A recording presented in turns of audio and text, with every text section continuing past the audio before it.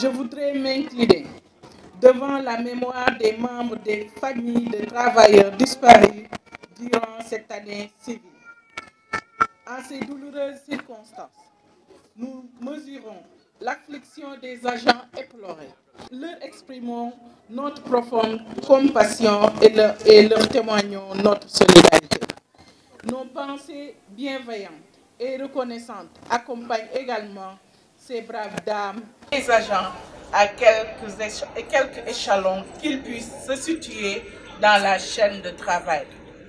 Voilà pourquoi l'amélioration de l'environnement professionnel du département commande la nécessité de promouvoir le commun vouloir de réussite commune de tout le personnel.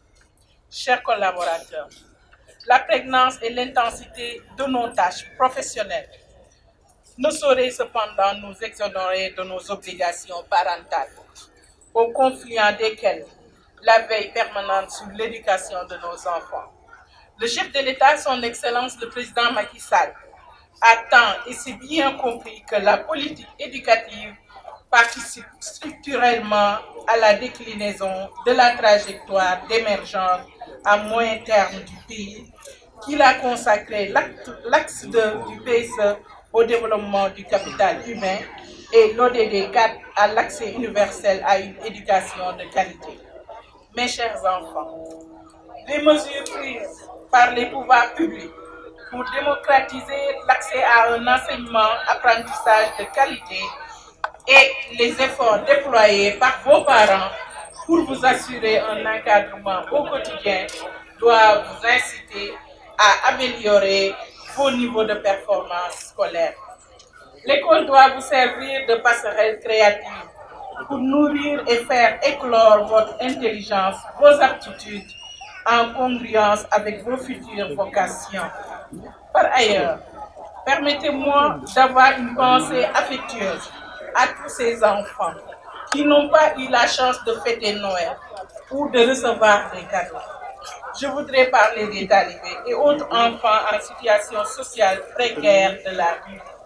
Je ne saurais terminer mon propos sans saluer tous les parents, ces personnalités qui participent à cette belle fête en l'honneur des enfants et je les remercie d'être avec nous. Je comprends dans ces témoignages de satisfaction les organisateurs, notamment l'ADAGE, à travers le service social. Soyez-en remerciés.